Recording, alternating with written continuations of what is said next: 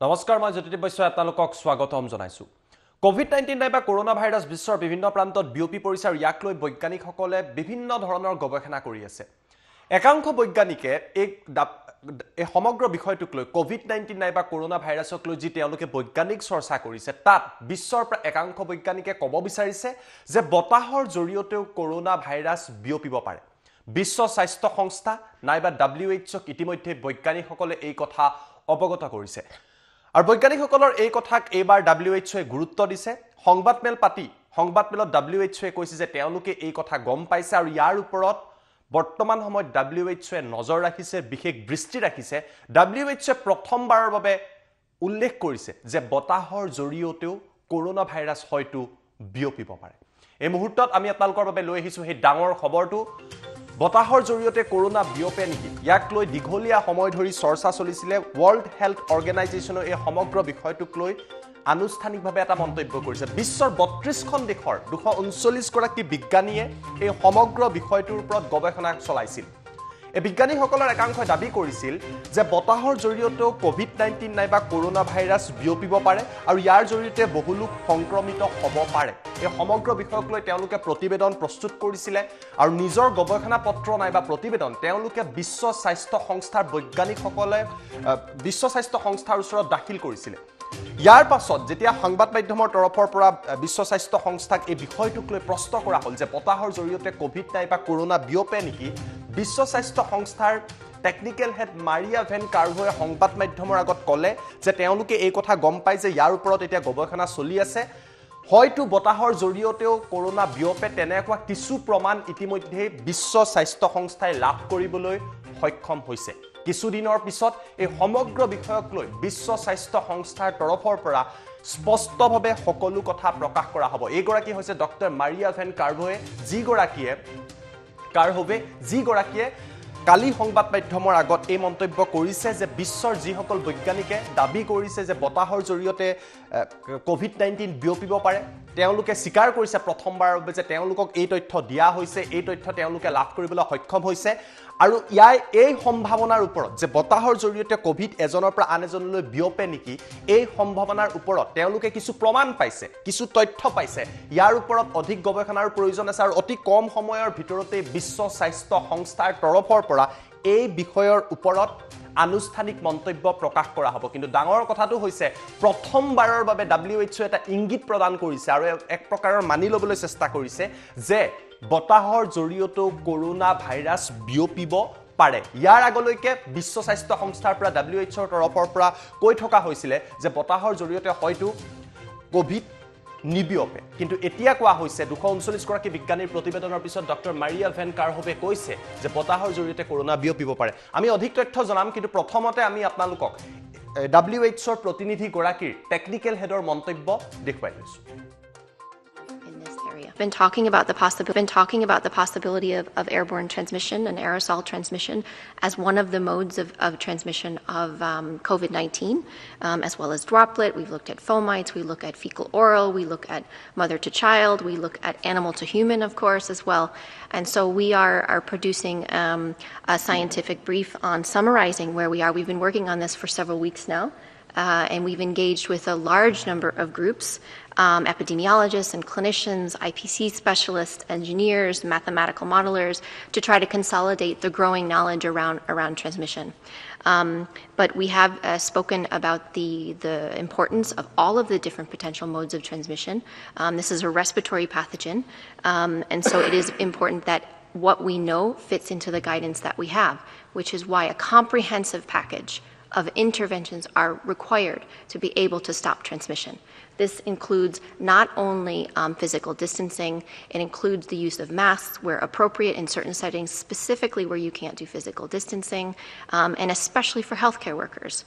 So, our focus on, on the use of masks, of course, is for healthcare workers, um, and to use airborne precautions where you have those aerosol generating procedures. But we're also looking at the possible role of airborne transmission in other settings where you have particularly closed settings where you have poor ventilation. So, uh, we will be issuing our brief in, in the coming days, um, and that will outline everything that we have in this. সেয়া আমি এতালোকক মন্তব্য শুনোৱালো। এয়া হৈছে doctor Maria van কাৰহোবে। তেখেতে সংবাদ মাধ্যমৰ আগত আনুষ্ঠানিকভাৱে এই কথা বিশ্ব স্বাস্থ্য সংস্থাই স্বীকাৰ কৰি কৈছে যে হয়তো বতাহৰ জৰিয়তে কভিড নাইণ্টিন নাইবা কৰোণা এজনৰ পৰা আন এজনলৈ বিয়পিব পাৰে। ইয়াৰ আগলৈকে ডাব্লিউ এইচ অ' বা বিশ্ব স্বাস্থ্য সংস্থাৰ তৰফৰ পৰা এই কথা মানি লোৱা নহৈছিলে। কোৱা হৈছিলে যে বতাহৰ জৰিয়তে কৰোণা নিবিয়পে গতিকে দৌ গজকি দূৰী বা দুই ফুট আমি দূৰত থাকিব লাগে। কৰোণাৰ পৰা বাচি থাকিবলৈ কিন্তু দুশ ঊনচল্লিছগৰাকী বিজ্ঞানীৰ এই প্ৰতিবেদনক লৈ পুনৰ চৰ্চা আৰম্ভ হৈছে আৰু অতি কম সময়ৰ ভিতৰতে বিশ্ব স্বাস্থ্য সংস্থাই আনুষ্ঠানিক প্ৰতিবেদন প্ৰকাশ কৰিব। অধিক তথ্যৰ বাবে এই মুহূৰ্তত সংযোগ স্থাপন কৰিছো আমাৰ সাংবাদিক ধ্ৰুৱৰ সৈতে। ধ্ৰুৱ মই আপোনাৰ কাষলৈ আহিছো।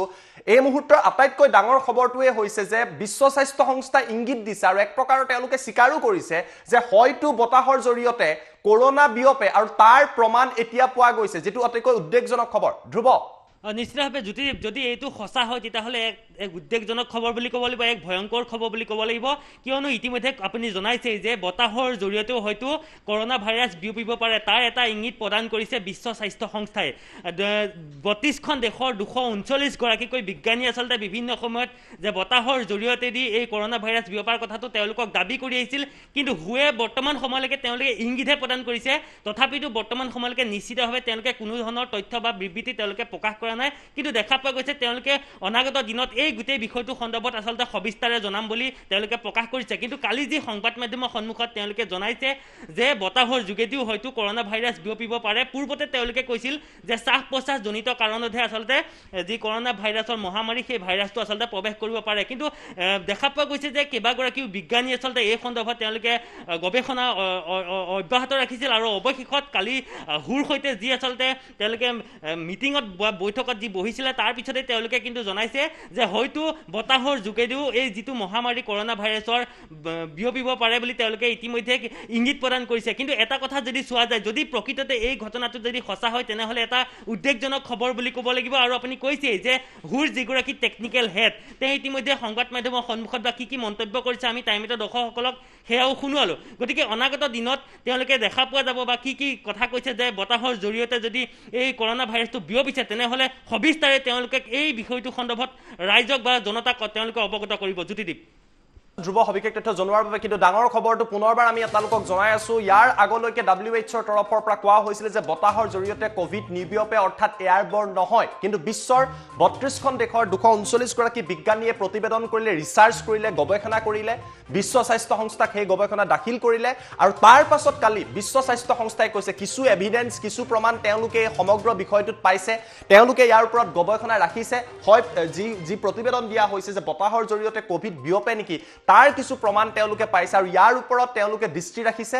অতি কম সময়ৰ ভিতৰতেই ডাব্লিউ এইচৰ তৰফৰ পৰা এই সমগ্ৰ বিষয়টোক লৈ পুনৰবাৰ প্ৰতিবেদন বা আনুষ্ঠানিক বক্তব্য ৰখা হ'ব। কিন্তু প্ৰথমবাৰৰ বাবে কভিডক লৈ এয়া ডাঙৰ মন্তব্য আহিছে বিশ্ব স্বাস্থ্য সংস্থাৰ তৰফৰ পৰা য'ত তেওঁলোকে এক প্ৰকাৰৰ স্বীকাৰ কৰি কৈছে যে বতাহৰ জৰিয়তেও হয়তো কভিড বিয়পে। মন্তব্যটো পুনৰবাৰ টাইম এইটৰ দৰ্শকক এই মুহূৰ্তত দেখুৱাই লৈছো।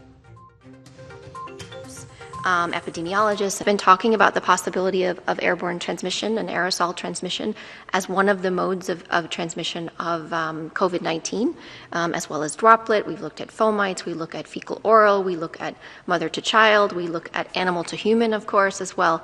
And so we are, are producing um, a scientific brief on summarizing where we are. We've been working on this for several weeks now. Uh, and we've engaged with a large number of groups um, epidemiologists and clinicians, IPC specialists, engineers, mathematical modelers to try to consolidate the growing knowledge around, around transmission. Um, but we have uh, spoken about the, the importance of all of the different potential modes of transmission.